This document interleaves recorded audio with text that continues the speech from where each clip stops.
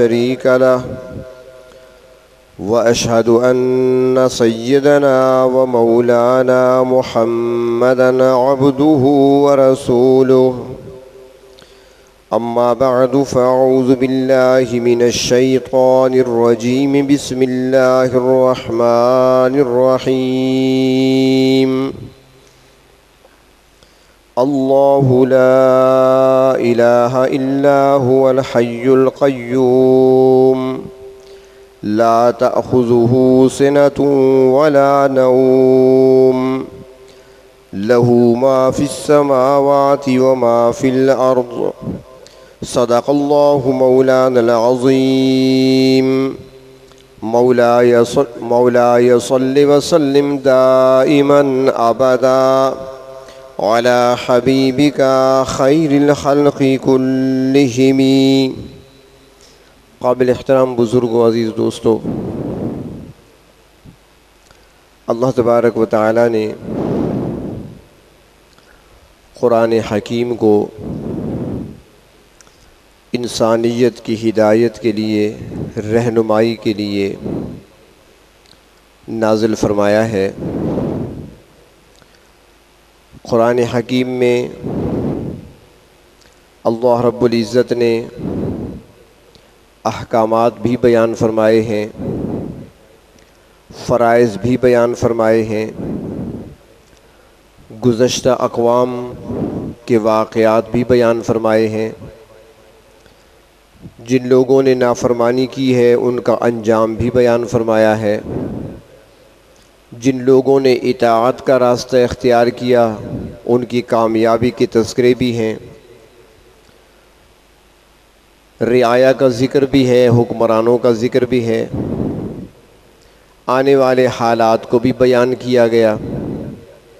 नेकी और तकवा पर जो समारात मिलने वाले हैं, उनका तस्करा भी है। नाफरमानी और मासीत पर जो सज़ाएँ मिलने वाली हैं, उनका तस्करा भी है। जिनको इंसानों की तरफ़ मबूस किया गया, भेजा गया, उन पैगंबरों का ज़िक्र खैर भी है। जहाँ ये सारी चीज़ें कुरान हकीम में अल्लाह तबारक व ताली ने बयान फरमाई हैं, वहाँ पर साथ ये भी फरमाया वनज़िलमिनक़ुरान मा हुआ शिफ़ा। इस कुरान के अंदर अल्लाह तबारक व ताली ने शिफा भी रखी है।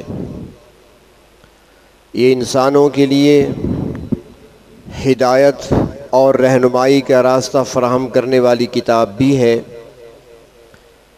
इंसानों की हिफाजत करने वाली इसमें आयात भी हैं और रूहानी तौर पर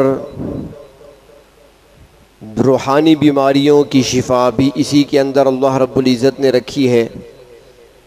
दिलों की शिफा भी इसी के अंदर है वह सदूर।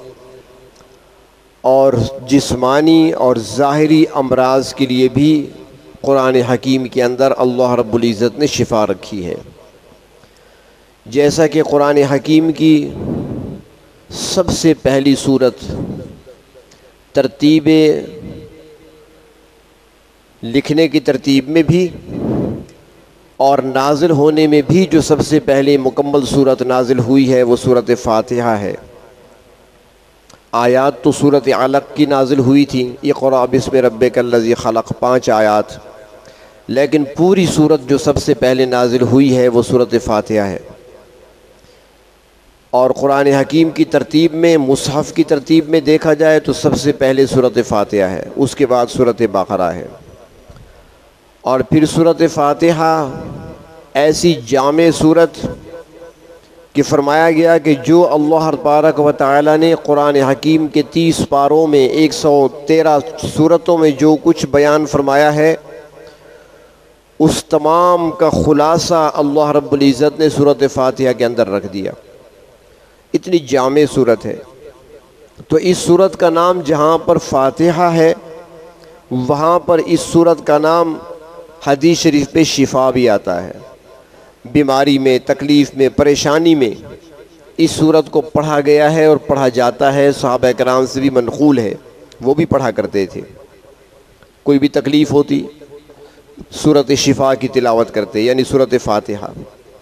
तो कुरान हकीम में अल्लाह तबारक व ताली ने जहाँ रूहानी इलाज रखा है, रूहानी तौर पर जहाँ शिफा है कुरान हकीम दिलों के लिए शिफा है, वहाँ जिस्मानी तौर पर भी अल्लाह तबारक व ताली ने कुरान हकीम के अंदर शिफा रखी है। तहकीक करने वाले, तजर्बे करने वाले, अहले इल्म हजरात, जब मुताला करते हैं तो बहुत सारी चीज़ें और बहुत सारे नुकात फिर वो निकाल लिया करते हैं। लेकिन सारी बातों को छोड़कर, जो आपके सामने अर्ज़ करना है वो कुरान करीम की आज उस आयत से मुतल चंद बातें अर्ज़ करनी हैं, जिसको कुरान करीम की सबसे अजीम आयत कहा गया है। सबसे बड़ी आयत कहा गया है। सबसे अजीम और सबसे शान वाली, अजमत वाली आयत जिस आयत को कुरान हकीम में से कहा गया है, उस पर चंद बातें अर्ज़ करनी है। आजकल वैसी भी ज़रूरत है इन चीज़ों की। कुछ लोग कहते हैं कि दुआ किस तरीके से कबूल कराई जाए। तो पहली बात तो यह है, उसके लिए शर्त तो यह है कि खाना हलाल का हो, लिबास हलाल का हो, कमाई हलाल की हो, दुआ की कबूलियत के लिए पहली शर्त तो यह है।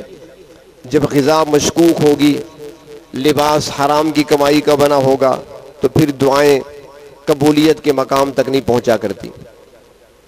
और दूसरी बात, इज्ज़ इनकसार है मोहताज बनकर आजजीन के सारी के साथ, सवाली बनकर, मंगता बनकर, फ़कीर बनकर अल्लाह से मांगना। और तीसरी चीज़, यकीन कामिल के साथ मांगना। आज हमारे अंदर कमी है बहुत ज़्यादा। यकीन नहीं होता हमें। और जब यकीन नहीं होगा तो फ़ायदा नहीं होगा। पूरा यकीन के साथ जब मांगेंगे, और यकीन भी ऐसा जैसा यकीन सहाब कराम को हासिल हुआ हज़रत खालिद बिन वलीद रदी अल्लाह बिस्मिल्लाह पढ़ते हुए जहर की शीशी अपने हल्क में उंडेल देते हैं और पूरी पी जाते हैं। कुछ नहीं होता तो क्यों वजह क्या थी? कि उनको यकीन था कि मैंने अल्लाह तबारक व ताली को जिस नाम से पुकारा और याद किया है तो इसमें कोई शक नहीं कि अल्लाह के महबूब ने फरमाया कि अब तुम्हें कोई चीज़ नुकसान नहीं पहुँचा सकती। लेकिन हम शक में मुबतला होते हैं। हमें यकीन हासिल नहीं होता। तो दुआ मांगने में यकीन कामिल रखना। और चौथी चीज़, कुछ असमा ऐसे हैं कि जिनके बारे में कहा गया है कि इसमें इसमें आज़म है। इसमें आज़म से मुराद अल्लाह तबारक वाली के वो नाम कि जिसके ज़रिए से दुआ मांगी जाए तो दुआ रद्द न हो। इसमें आज़म, अल्लाह तबारक वाली के वो मुबारक नाम कि जिसके ज़रिए से मांगा जाए तो अल्लाह तबारक वाली उस दुआ को रद्द न फरमाए, बल्कि उसके बदले ज़रूर अता फरमाए। उसे इसमें आज़म कहती हैं। वो भी बताया गया हमें और तीसरी बात वो ये कि आजकल ज़्यादातर मसला बना हुआ है, हिफाजत का। हर शख्स परेशान है, जिन्नात ने परेशान किया हुआ है, किसी को इंसानों ने परेशान किया हुआ है, किसी को शरीर लोगों ने परेशान किया हुआ है, किसी को हालात ने घेरा हुआ है। और सफ़र पे जाते हैं, रोड एक्सीडेंट रोज़ाना सामने नज़र आते हैं, जान ख़तरे में होती है। माल अगर पास है तो माल ख़तरे में होता है। तो इन चीज़ों से हिफाजत के लिए हम क्या कुछ कर सकते हैं? तो इन सारी बातों का जवाब जो है वो इस एक आयत से हमें मिलता है। और ये वो आयत है कि नबी अकरम सल्लल्लाहु अलैहि वसल्लम तशरीफ़ लाए मस्जिद में, मस्जिद नबवी में। आप तशरीफ़ लाए तो सामने इस उम्मत के कारी बैठे हुए थे। उबई बिन काब रदी अल्लाह नबी अकरम वसल्लम ने उनको लकब दिया है कारी का, कि ये मेरी उम्मत का कारी है।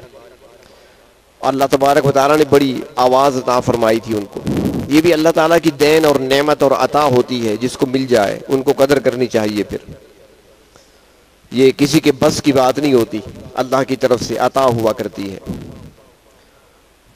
और उबई बिन काब के बारे में फरमाया गया कि हज़रत दाऊद अलैहिस्सलाम को अल्लाह तबारक वाली ने बड़ी अजीब आवाज़ अता फरमाई थी कि जब वो ज़बूर की तिलावत किया करते थे तो कुरान हकीम में भी आता है कि जब दाऊद अलैहिस्सलाम ज़बूर को पढ़ा करते थे तो पहाड़ भी झूमने लगते थे और परिंदे भी अपनी परवाज भूल जाया करते थे।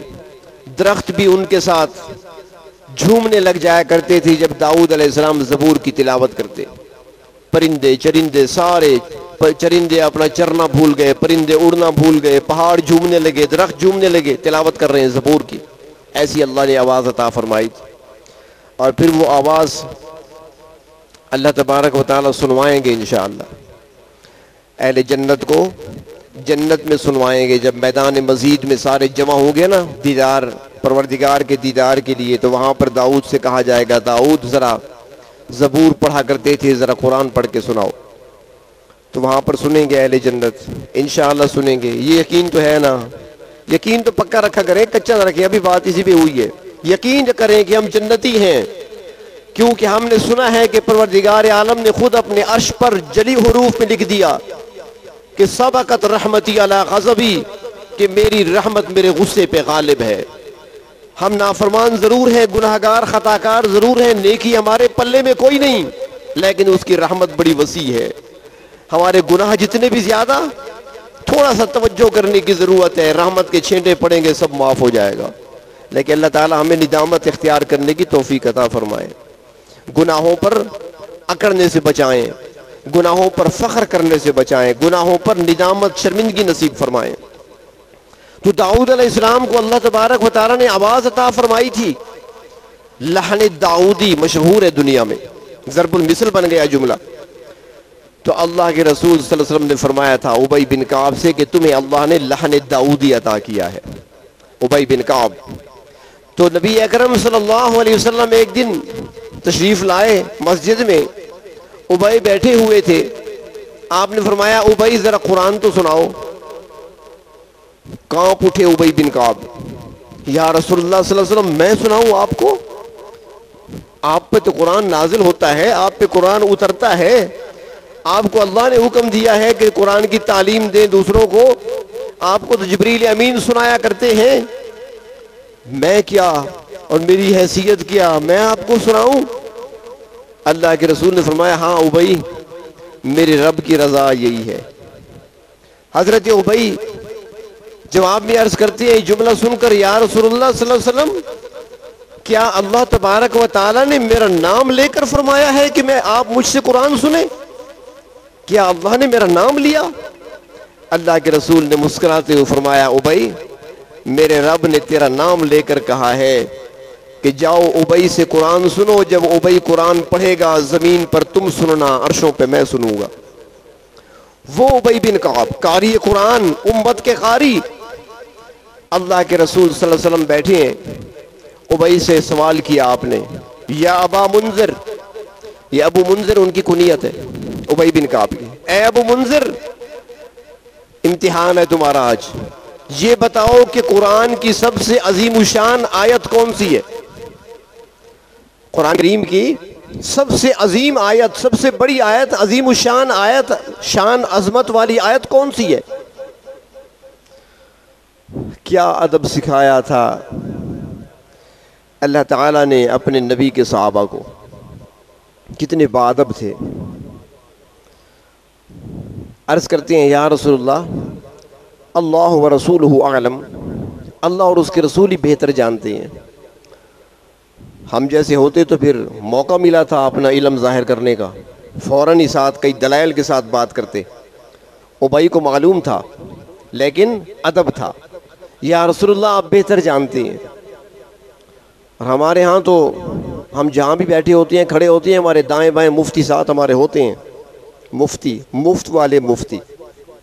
मदरसे के पढ़े हुए मुफ्ती नहीं, मुफ़्त वाले मुफ्ती। कोई हमसे मसला पूछ ले, यहाँ से भी जवाब आएगा, यहाँ से भी आएगा। हम अभी सोच रहे होते हैं। तो आदाब का ख्याल रखा करें।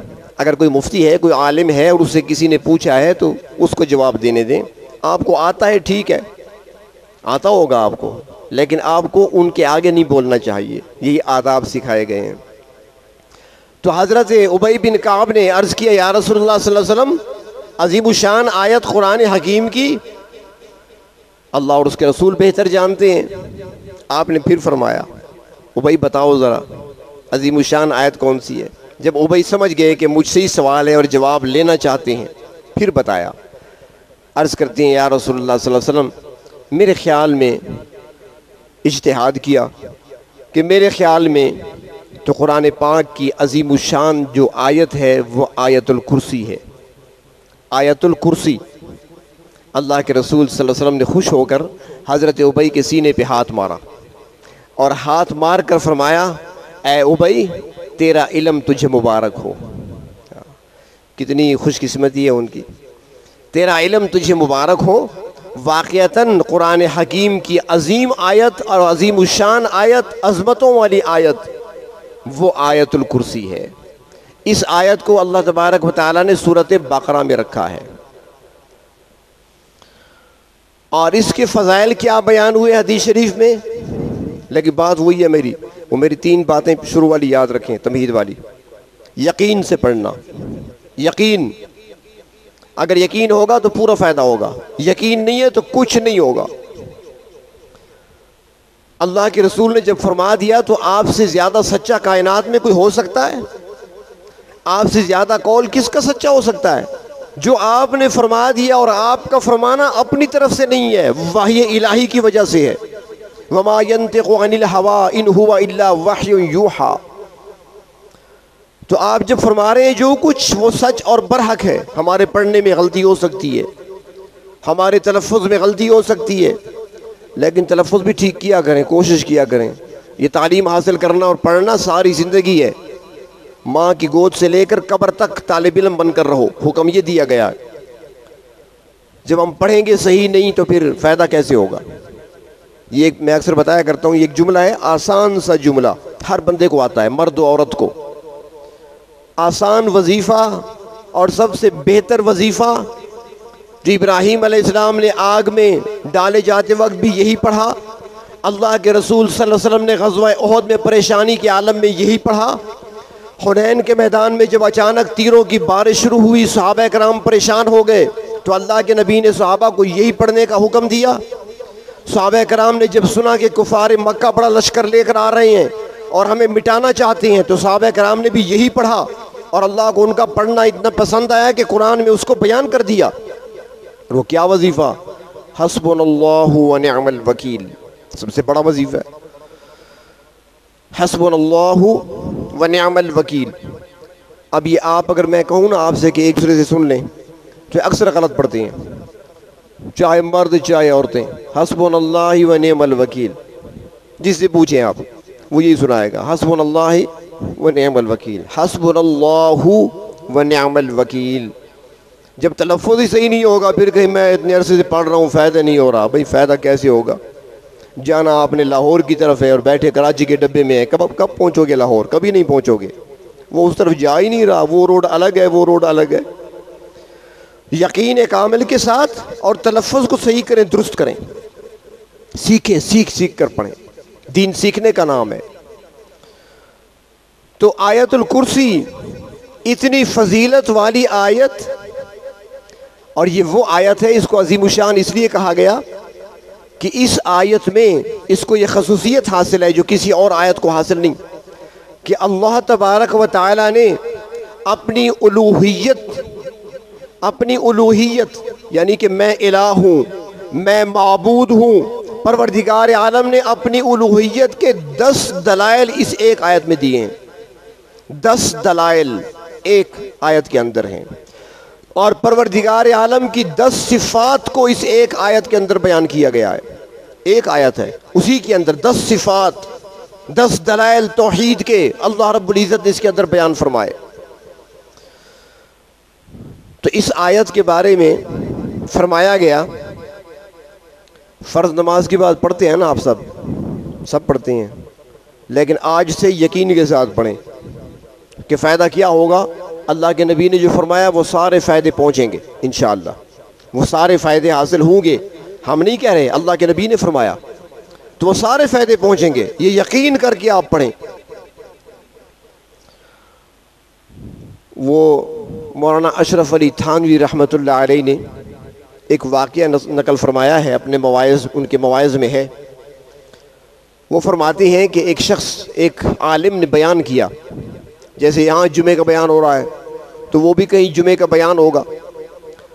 तो उन्होंने बयान फरमाया और बयान में उन्होंने बताया कि बिस्मिल्लाहिर्रहमानिर्रहीम के अंदर इतनी ताकत है, इतनी क़ुवत है कि अगर यकीन कामिल के साथ कोई बंदा ये पढ़कर दरिया में भी चल पड़े ना तो दरिया पर ऐसा चलेगा जैसे खुश्क ज़मीन पर चलता है, उसके पाँव के तलवे भी गीले नहीं होंगे। उसने बिस्मिल्लाह की ताकत बयान की। एक वहाँ पर देहाती बैठा हुआ था, जो दरिया पार रहता था। हमारे यहाँ होते हैं ना, आजकल तो पता नहीं, जब हम छोटे थे, दरिया पे जाया करते थे तो वहाँ पर ये दूध आया करता था, दरिया पार से लोग दूध लेकर आते थे। आजकल पता नहीं आता या नहीं आता, लांचें चलती थी उस ज़माने में। कुछ लोग तैर कर आते थे। वो बड़े बड़े उनके वो मशकीज़े होते थे, क्या कहते हैं वो? उन पर बैठे होते थे और साथ वो दूध के बर्तन लटके होते थे। तो दूध आया करता था। तो इस तरीके से वो कोई शख्स बैठा हुआ था दरिया पार रहता था। उसने जब सुना, उसने कहा, मौलवी साहब, भला थी भी। मैं तो तंग आ गया कश्ती दे किराए भर भर के। यहाँ से भी किराया दो, वापसी भी किराया दो।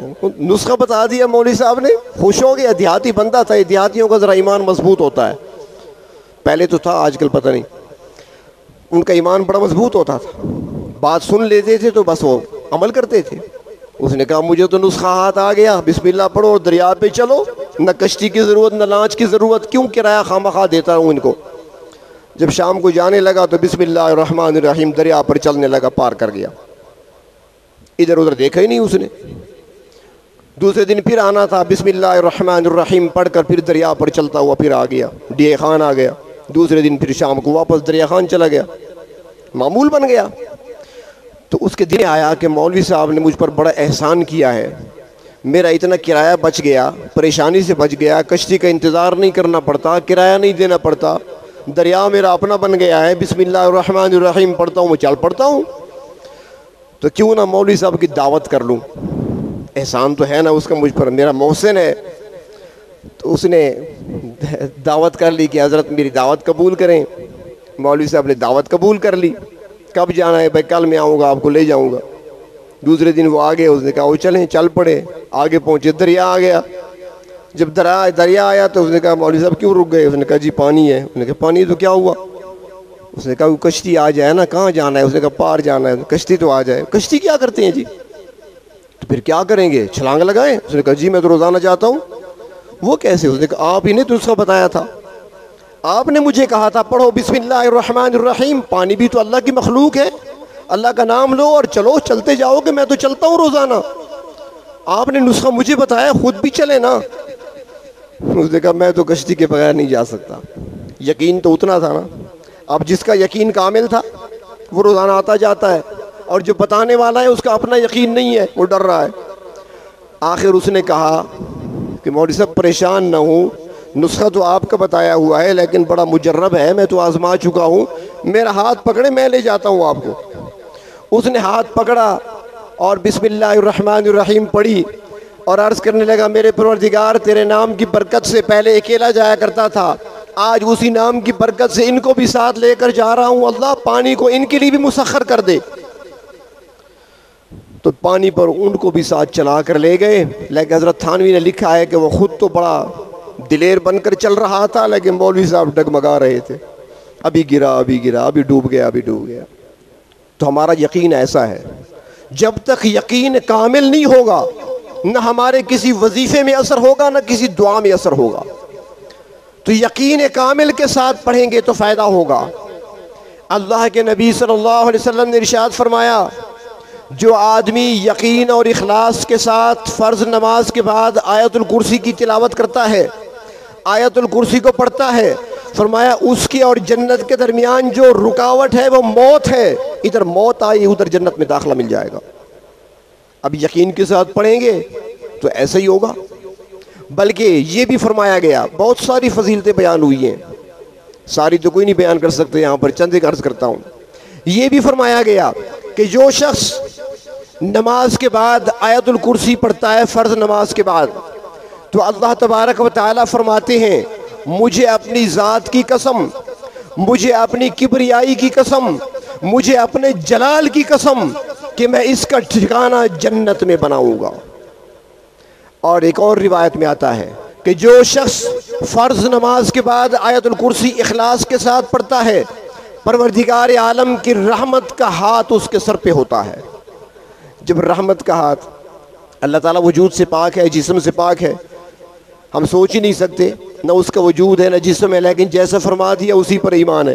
कुरान यकीम में फरमाया यदुल्ला यदुल्ला फ़ौका हिम अल्लाह का हाथ है, उनके हाथों के ऊपर अल्लाह का हाथ। हाथ से क्या मुराद है, हम नहीं जानते, लेकिन जो बता दिया उस पर ईमान है। तो बाहर तौर फरमाया कि रहमत उसके सर पे होगी, परवरदिगार आलम की।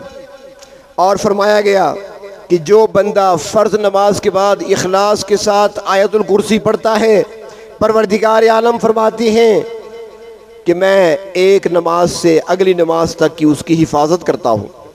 एक और रिवायत में फरमाया कि जो आयतुल कुर्सी इखलास के साथ फ़र्ज़ नमाज़ के बाद पढ़ता है, रब ताला सत्तर मरतबा, पूरे दिन में सत्तर मरतबा उसकी तरफ़ नज़र रहमत फरमाते हैं। और जिसकी तरफ़ नज़र रहमत सत्तर मरतबा पड़ती हो, वो गलती कर सकता है फिर।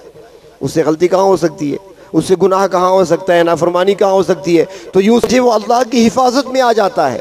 बल्कि सबसे बड़ी बात फरमाया कि जो शख्स फ़र्ज़ नमाज़ के बाद आयतुल कुर्सी अहतमाम से अखलास के साथ, यकीन के साथ पढ़ता है, परवरदिगार आलम फरमाते हैं कि उसके दिल को हम शुक्र गुजारों वाला दिल बना देते हैं और उसके अमाल को हम सिद्दीकीन वाले अमाल बना देते हैं। और फरमाया कि जो शख्स इखलास के साथ, यकीन के साथ, नमाज़ के बाद, फ़र्ज़ नमाज़ के बाद आयतुल कुर्सी की तिलावत करता है, आयतुल कुर्सी पढ़ता है, परवरदिगार आलम फरमाते हैं कि जब उससे, उसका दुनिया से जाने का वक्त आता है जब उसकी मौत का वक्त आता है तो मैं मलकुल मौत से कहता हूँ कि बाकियों की रूह तुम कब्ज़ किया करो।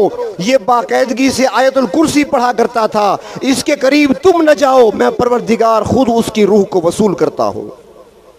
इससे बढ़कर फजीलत क्या हो सकती है? छोटी सी आयत, बज़ाहिर अल्फाज में एक मिनट लगेगा और शायद एक मिनट भी ना लगे। पचास पचपन सेकंड लगेंगे पढ़ने में, लेकिन अजर सवाब कितना? फ़जाइल कितने, बरकतें अल्लाह तबारक व ने कितनी रखी हैं इसके अंदर। और फरमाया कि ये हिफाजत का भी ज़रिया है, जान और माल की हिफाजत। हदीस शरीफ में आता है कि एक मरतबा सदक़ फ़ितर का माल जमा हुआ, सदक़े का माल था। तो माल जमा हो गया, अब तकसीम फ़िलहाल नहीं हुआ। तो बैतुलमाल पर ड्यूटी लगा दी गई हज़रत अबू हुरैरा रज़ी अल्लाह तु की, कि तुमने ड्यूटी देनी है। ख्याल करना है कि चोरी न हो जाए, कोई चोर माल चुरा कर न ले जाए। हज़रत अबू हुरैरा रज़ी अल्लाह तु माल की निगरानी कर रहे हैं। रात का वक्त है, आधी रात गुजर चुकी। अचानक अबू हुरैरा को महसूस हुआ, जैसे कोई आया हुआ है। उठे, देखा तो एक शख्स है जो माल उठा रहा है। मसलन गंदम पड़ी है, जौ पड़ी है, वो बोरी में डाल रहा है या अपनी चादर में डाल रहा है। अबू हुरैरा ने जाकर उसे पकड़ लिया। क्या कर रहे हो? उसने कहा, जी, मुझे छोड़ दो, गलती हो गई, फिर नहीं आऊँगा। उसने कहा, नहीं, क्या मतलब? अब क्यों आए हो? उसने कहा, जी, घर में ज़रूरत थी, बच्चे भूखे थे, मजबूर था, और कोई ज़रिया नहीं था। मैंने कहा, चलो, बैतुलमाल से थोड़ा सा मैं ले लूँ। इस बार छोड़ दें, फिर नहीं आऊँगा। अब हुरैरा ने कहा, ठीक है, फिर नहीं आना, छोड़ दिया। सुबह हुई। अल्लाह के रसूल वसल्लम की खिदमत में हाजिर हुए तो वाक़ सुना दिया, रात तो ऐसे चोर आ गया था। अल्लाह के रसूल मुस्कराए, फरमाए, वो फिर आएगा। अगली रात हुई, अब हुरैरा ड्यूटी पे हैं, निगरानी कर रहे हैं कि फिर देखा, फिर वो आया हुआ है, एक कोने पे बैठा है, माल जमा कर रहा है, फिर पकड़ लिया। फिर उससे, उसने माफ़ी मांगना शुरू कर दी, माजरत करना शुरू कर दी, माफ़ कर दें, माजरत है, आइंदा नहीं करूँगा, गलती हो गई बस, मजबूर हो गया था। भूख ने तंग किया, मैं आ गया। आइंदा ऐसा नहीं होगा, इस बार छोड़ दे मुझे। अबू हुरैरा को फिर तरस आ गया, वाद वाईद के बाद छोड़ दिया। अल्लाह के रसूल को बताया तो फरमाया कि वो फिर आएगा, झूठा है। तीसरी रात तो फिर आ गया। अब तो अबू हुरैरा ने पकड़ लिया, अब नहीं छोड़ूँगा। अब तो सुबह मैंने पेश करना है अल्लाह के रसूल की खिदमत में, और वहाँ पर तो फिर वो हद जारी होगी ना, हाथ काटा जाएगा। चोर है, रंगे हाथों पकड़ा गया, बड़ी मिन्नतें कर रहा था। लेकिन इधर अबू हुरैरा का हाथ था, कहाँ छुड़ा सकता? अशिद्दा वलकुफ़ार रहमा बैन आपस में तो मेहरबान हैं, लेकिन कुफर कुफर के लिए तो बड़े सख्त हैं। कुरान ने गवाही दी है। अब उसके हाथ में वो हाथ आ गया सबसे बड़ी दुश्मन का तो कैसे छुड़ा सकता वो? तो मैं नहीं छोड़ूँगा। उसने कहा अच्छा एक बात बताता हूँ। उसने, कौन सी बात है? उसने कहा, मैं ऐसी चीज़ बताता हूँ कि अगर इस पर अमल करोगे ना, सारी ज़िंदगी कोई चोर तुम्हारा माल चुरा नहीं सकेगा। कोई तुम्हें नुकसान नहीं पहुँचा सकेगा, न इंसानों में से, न जिनों में से। न जिन्नात नुकसान कर सकेंगे, न इंसानों में से कोई तुम्हारा नुकसान कर सकेगा। मैं ऐसी चीज़ बताता हूँ। अब हुरैरा ने फरमाया, बताओ। उसने कहा, ऐसा किया करो, जब बिस्तर पे पहुंचो ना, आयतुल कुर्सी पढ़ लिया करो। पूरी रात सुकून से सो जाया करो। न जिन्नात तुम्हें नुकसान पहुँचा सकेंगे और न इंसान तुम्हें नुकसान पहुँचा सकेंगे। आयतुल कुर्सी पढ़ लिया करो। हिसार में आ जाओगे, परवरदिगार आलम हिफाजत के लिए फरिश्ते भेज देते हैं, वो हिफाजत करते हैं। अबू रहरा ने छोड़ दिया। सुबह अल्लाह के रसूल वसल्लम की खिदमत में आकर वाक़ सुनाया। आप मुस्कराए, फरमाए, अबू रहरा जानते हो वो कौन था? उसने को पता नहीं, कोई था। फरमाया, वो इबलीस था, वो शैतान था, वो है तो बहुत झूठा, कायनात का सबसे बड़ा झूठा है, लेकिन जो बात तुम्हें बताइए वो सच बताइए कि आयतुल कुर्सी पढ़ने से अल्लाह तबारक वाली हिफाजत फरमाते हैं और फरमाया कि जो शख्स घर से निकलते वक्त सफ़र पे जा रहा है, कहीं जा रहा है, वो निकलते वक्त आयतुल कुर्सी यकीन कामिल के साथ पढ़ लेता है, इखलास के साथ पढ़ लेता है और घर से निकलता है। जब तक घर वापस नहीं आता, उसके आगे पीछे दाएँ बाएँ, ऊपर नीचे अल्लाह ताला फरिश्ते मुकर कर देती हैं हिफाजत के लिए। उसके साथ साथ चलते हैं। वो गोया के हिसार में चल रहा होता है। वो सफ़र के अंदर हिसार में होता है, घेरे में होता है, फरिश्तों के घेरे में। तो इस आयत के अंदर ये बरकतें अल्लाह तबारक व वाली ने रखी हैं। ने लिखा है कि एक मरतबा बसरा में एक खजूर का ताजर आ गया। बसरे की खजूर तो मशहूर है। तो खजूर तक का ताजर था, वो बसरा पहुँचा। अब उसे चंद दिन ठहरने के लिए मकान चाहिए था किराए पर। होटलों का ज़माना तो था नहीं। मकान तलाश करने लगा, मकान नहीं मिल रहा। एक मकान का पता चला खाली है तो उसके मालिक के पास चला गया। और उसके मालिक से जाकर कहा कि तुम्हारा मकान खाली है, मुझे पता चला है, मुझे किराए पर चंद दिन के लिए चाहिए, अपना किराया ले लो, मुझे मकान दे दो। उसने कहा नौजवान, बड़े खूबसूरत जवान हो। अल्लाह ने बड़ी जवानी अता की है। और मेरा मकान जो है ख़तरे से खाली नहीं क्योंकि उसमें एक बहुत बड़े ख़तरनाक जिन ने डेरा डाल रखा है और एक अरसे से खाली पड़ा है। जो मकानात अक्सर खाली रहते हैं ना, ज़्यादा अरसा फिर जन्नात वहाँ पर डेरा जमा लेते हैं। तो जिन वहाँ पर काबिज हो चुका है मेरे मकान पर, वो नुकसान पहुंचाएगा। मैं नहीं चाहता कि तुम्हारी जवानी खराब हो। लिहाजा कहीं और चले जाओ, मुझसे मकान न लो। इसने कहा, नहीं, मुझे मकान चाहिए। आप दे दें। उसने कहा, नुकसान होगा। उसने कहा, कुछ नहीं होगा। आप मकान दे दें मुझे। बार और मजबूर किया तो उस शख्स ने मकान किराए पर दे दिए, चाबी दे दी यहाँ भी ले लो। इसने मकान खोला, सफ़ाई वगैरह की। शाम को जब सोने के लिए घर आया, जो कमरे में दाखिल हुआ तो बहुत बड़ा जिन सामने खड़ा है। सुर्ख आँखें, भारी वजूद है छत से ऊपर सर जा रहा है उसका। खर्रा रहा था वो। इसने जब देखा तो इसने आयतुल कुर्सी शुरू कर दी। इसने शुरू कर दी। और जिन ने भी पढ़ना शुरू कर दिया, वो भी आमिल होती हैं। ये नहीं कि सिर्फ़ आप पढ़ रहे हैं, वो खामोश सुन रहे हैं, वो भी पढ़ते हैं, आपका तोड़ करते हैं। अब ये भी आयतुल कुर्सी पढ़ रहे हैं, वो भी पढ़ रहा है। जब ये पहुँचे ना, आखिरी जुमले पर, वला अजीम, इस जुमले को बार बार पढ़ना शुरू कर दिया। फरमाते हैं, ये तजर्बे वाले हजरात, ये जो आमिल होते हैं ना आले आमिलों में से भी कुछ आलिम भी होते हैं। वो आमिल जो आलिम भी हैं, जिनके पास इलम भी है और साथ अमलियात का काम भी जानते हैं और उनके तजर्बात भी हैं तो वो कहती हैं कि आयतुल कुर्सी का जो आखिरी टुकड़ा है ना, इसका तोड़ जिन्नात के पास नहीं है। इसका तोड़ नहीं है उनके पास। वला अजीम। इस पूरी कायनात की हिफाजत करने से परवरदिगार आलम थकते नहीं हैं। ये माना है इसका। परवरदिगार आलम, दोनों यानी कि ज़मीनों को देखो, आसमानों को देखो, इनके अंदर भरी हुई चीज़ों को देखो, पूरी कायनात को देखो। इस पूरी कायनात को संभालते हुए, इनकी हिफाजत करते हुए, रब ताला थकते नहीं है। गोया जिन्नात से कहा जा रहा है, तुम पढ़ते पढ़ते थक जाओगे, रब ताला हिफाजत करने से नहीं थकते। तो इस आखिरी जुमले, उसने तकरार शुरू कर दिया बार बार बार बार। देखा कि आग लग गई। उस जिन को आग लग गई और वहीं पे जल गया। ये आराम से जाकर सो गया। मालिक मकान ने सोचा कि सुबह जाऊँगा, मुझे या तो लाश उठानी पड़ेगी या बेहोश को वहाँ से अस्पताल मुंतकिल करना पड़ेगा। लेकिन सुबह जब आए तो ये तो सही सलामत था, कुछ भी नहीं हुआ था। तो ये जब उठा, इसने देखा कि जहाँ पर जिन खड़ा था ना, रात को वहाँ पर राख पड़ी हुई थी। वो जला था ना, राख पड़ी थी। अब ये राख को देख रहा है कि कोने से आवाज़ आई कि तुमने हमारे सरदार को मार डाला। किसी और जिन ने आवाज़ दी कि तुमने हमारे सरदार को मार डाला। इसने कहा, भाई, तुम्हारे सरदार को मैंने किस चीज़ से मारा? उसने कहा, वला यऊदहू हिफ्ज़ुहुमा वहुवल इस जुमले से तुमने उसको मार डाला। ये तासीर अल्लाह ने रखी है। तो क्या ये बसरे वालों के लिए थी या पाकिस्तान वालों के लिए भी है? हमारे लिए भी है। खुद पढ़ें। हिफाजत के लिए खुद पढ़ें, यकीन कामिल के साथ पढ़ें। जब अल्लाह ताला खुद फरमाते हैं, मैं हिफाजत करता हूँ, मेरी रहमत का हाथ ऊपर होता है, मेरे फरिश्ते तुम्हारी हिफाजत करते हैं तो फिर क्या खौफ है हमें? हाँ हमारी तादाद ज़रा ज़्यादा हो जाए तो फ़ायदा है। मैं तो अक्सर साथियों से कहा करता हूँ कि आप हिफाजत के लिए अगर पढ़ना है तो सुबह की नमाज़ के बाद नौ मरतबा पढ़ लिया करें और बाकी हर नमाज़ के बाद आठ मरतबा पढ़ लिया करें। हाथों पे दम करके, जिसम पे फेर लिया करें। ये भी सुन्नत है। दम करना, हाथों पे फूंक मार कर अपने जिसम पे हाथ फेर लेना। ये सुन्नत है, नबी अकरम वसल्लम सोने से कबल इस तरीके से अपने आप को दम किया करते थे रोज़ाना। सूरतुल्फलक और सूरतुलनास पढ़कर अपने मुबारक हाथों पे दम करते और जिसम मुबारक पर हाथ फेर लिया करते थे।